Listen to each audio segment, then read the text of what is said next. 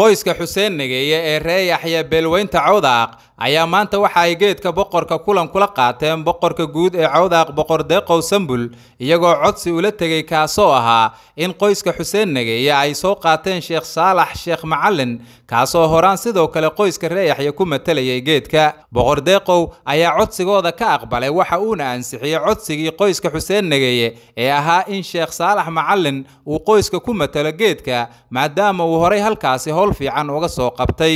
Saake waxaa ii yimaaday reer tolkii reefood ah oo uu hogaaminayo deeqow nuunow.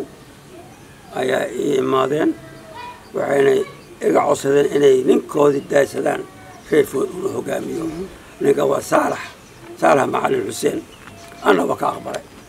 Waxaan rajaynayaa tolkii reefood ah meeluu joogaba.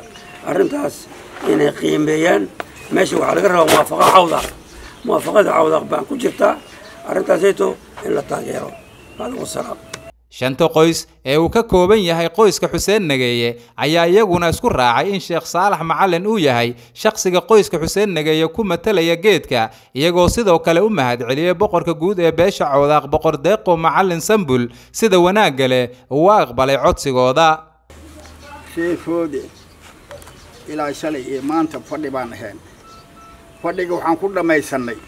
Shantii qoys oo waxba ka maqneen inaan boqorka ka codkanay inaan u tagno. Asagana waa naga guddoomay waan u imaadnay arrintii baan u jeedinay. Ma idiish yihiin buu yidhi reefood oo ma isku soo raacdeen? Waan isku soo raacnay waan idan lahay. Shanta qoysna waa ku idan lahay. Waana wuxuuna yidhi waa idiga aqbalay. Sidii food aad u midayn laheedeen oo nin walbaba aad uga hortagi laheedeen ood ilaahaysa tahay yaxya aad u sii u sii gudbi laheedeen wuu ilaahsi naga baryey waan ka godoonsanay. Alxamdulilahi rabbil asagana mahad baan u celinayna maanta waa ka duqi. Waxaan keensannay saalax macalin xuseen baan soo codsanay oo ewelba sii joogay. Ayaan ku soo celinay geedkii inuu reefood geedka u joogo arrintaa iyo reexyan oo goru u joogay. Waan soo dhammaysanay qoys haddaan nahay dabin baan falanqaynaynay arrinta way naga soo dhammaatay duqana wuu naga aqbalay.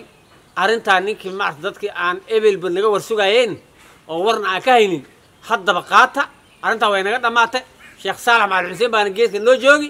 Wabilaahi towfiiq asalaamu calaykum waraxmatullahi barakatu ani magacayga maxaa weeye cali ismaaciil macalin baraki. Maxaa jirtaa boqorkaan u mahad celini? Waa mahadsanta boqorow. Sidii aan kaa filaynay ayaa samaysay waayo qoyskan reefood la dhihi dhibaato badan buu yaa fiisgaraynaysaa heer muxuu gaara aayihiis inuu ka tarshan karin. Rag baa isku dayahayaa inuu ma artay duqna haataa u qabto oo geedka u keeno. Waxaan sheegaynaa ninka aan isku raacsanayn waa ninkii geedka noo joogay. Laba nin oo yaxyaha waweyn ka mid ah yaa rabaan inaan duq annaka aana raalli ka ahayn ee geedka keenaan. Marka maxaa nii sheegahayaa yaxyow walaalow nin walba duqiisa wuu keensada geedka. Annagana duqannaga waa keenanay walaaqa nalagu haya iyo dhibka nalagu haya kontonkii sane ee kenya gobonnimo joogtay baa dhibka nalagu hayay. Ciddan maxay u baahan tahay in la nabadgeliyo. Maxaan diyaar u nahay cawdaaq midnimadiisa iyo soomaalida gaaris degan midnimadeeda iyo wakhti dheer waxaa falanqaynayna sidii warkaan u maqalnay geedka cawdaaq loo jebiyey odayaashii inaan oday keenanno. Waxaan isku raacnay ninkii u joogay reeyaxye inaan keenanno waxaana u dooranay intuu reeyaxye uu waday inuu magac fiican uu u keenay reeyaxyey oo yaxya uu anfaca ninkii di yaxya anfacay iyo cawdaaqbo ninkii yaxya anfacay inuu annaga na anfacayo yaan isku aragnay wuuna na anfacay intaan joogno meesha ninkaasaan keenanay walaalayaal mabda baan u soconnay mabda aan u soconnayna mabdi bilnafsi ma ahayn mabdi qabiil ah bay ahayd qabiil iyo qows in la kala bixiyo way roon tahay. Ilaahay baa mahadda iska leh. Wixii intuuna kulmiyey muwaafaqana siiyey aan soo aadnay boqorka gurigiisa. Boqorkii wixii aan ka rabnay amba mabda anaga ahaa amba wax maanta dan noogu jirta annaga dantaanada ay tahay. Waayo ragga markuu hadlaayo amba dan ka daalayo wixii dan ah inuu ku daalu roon yahay.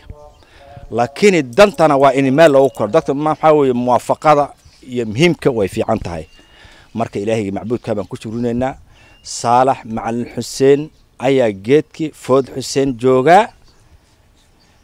Keligiisna mee nin kasta oo food xuseene diyaar buu u yahay inuu hogaamiyo dhibkiisa iyo shiidhadiisa uu ka sheego. Problemka maanta maxay noqotay? Dhib kasta oo maanta food xuseen gaaro. Inayna wax la qariya ma ogya wax maanta aan ku jirin.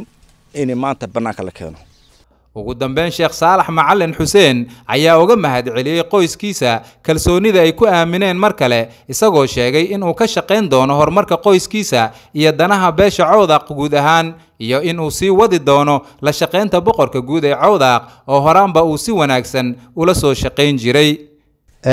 Waxaan u mahad celinayaa marka koowaad ugaaskayga guud ugaaskayga guud ugaas deeqow ugaas macalin maxamed ugaas sambul ugaas cabdiibraahin intaasuu ugaas ahaa maasha allah kolley waa soomaalida waxyar baa jira wax sidaa ugaaska u leh boqortooyada. Waana anfacay khayr allaha siiyo. Waa nin waayeeloo maskax leh waa nin diin leh waa nin tolka u dhimriyo. Waxaan ku raacnay isbeddelkii geedka uu ku sameeyey waxaan ugu baaqayaa cawdaaqa kale haray. Duqa taladiisa inay ugaaska taladiisa inay raacaan oo midnimada cidda ay fiiriyaan oo khilaafaadka geedka laga daayo.